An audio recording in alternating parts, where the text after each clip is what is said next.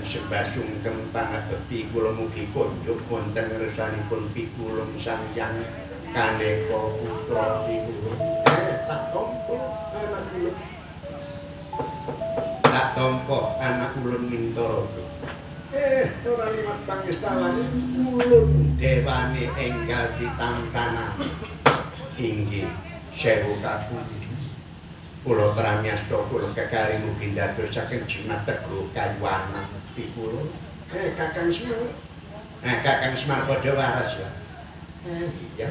Merodo. Oleh pengestumu ya pada waras. Manpongat kula ngakuraken sungkep bebi kula eh tak tompo jomblo ora liwat pangestawaning ulun dewane ditampanan nggih. Sewu kapundi mangkon wonten dawuh menapa dipun panjenengan rawuh dhateng pertapan Indra Kila ah iki Mintaraga iki ana ratu saka negara Ima Tinangka Prabu Nirbita ya Prabu Nirwata Kawaya. Nek gebak kaya. Suralaya gebak bali merca pundha manik lantaran ngarepno Betari Supraba tinampik karo adiku.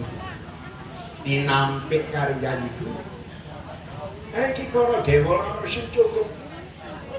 Wadya Durandara ora ana sing nyukupi mungsu karo karo Prabu Nirbita ya Nirwata Kawata Ratu Ngima Imantaka. Lah ulun teka menyang ing pretapan Indra Kila kisah perlu mundut minta seraya anak ulun minta raga. Eh rampung ngono. Prabu Nirbita nirwata kawaca sing saiki ana gereja repat kepanasan. Inggih. Menawi ngaten monggo kula dherekaken dhateng ing gereja repat kepanasan Kakang Sunan. Nggih. Nabi bali nira semua mangun diwaksa. Ngenten dawuh. Ayo menyang ing gereja repat kepanasan ana ratu saka negara Ngima Imantaka Prabu Nirwata Kawaca ya Prabu Nirbita lantaran rusak kayangan mergo tinampik anggone ngarepno Betari Supraba Kakang Sunan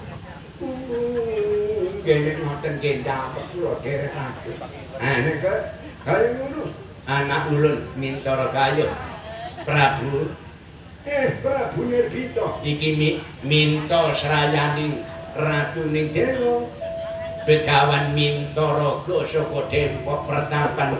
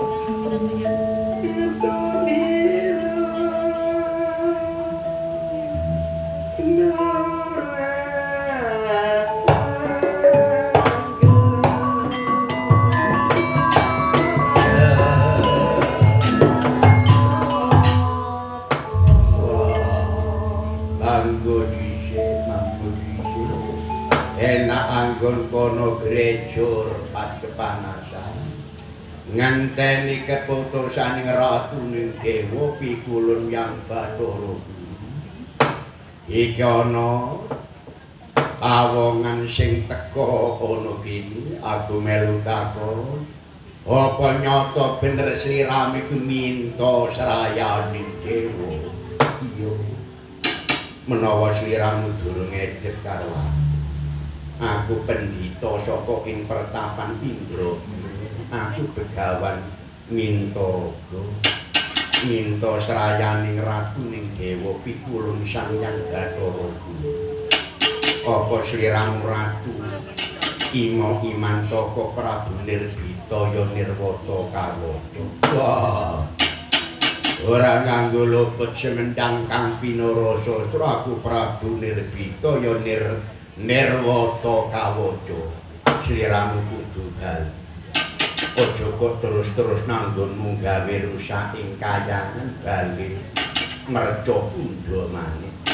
Menawa sliramu nganti gawe rusak ing merca pundha manik selawana salah kedaden matimu mergo mintaraga prabu nirbita wah mintaraga mintara gowani karo Prabu Prabu Nirbito Bata Shaudu Dadi Mamang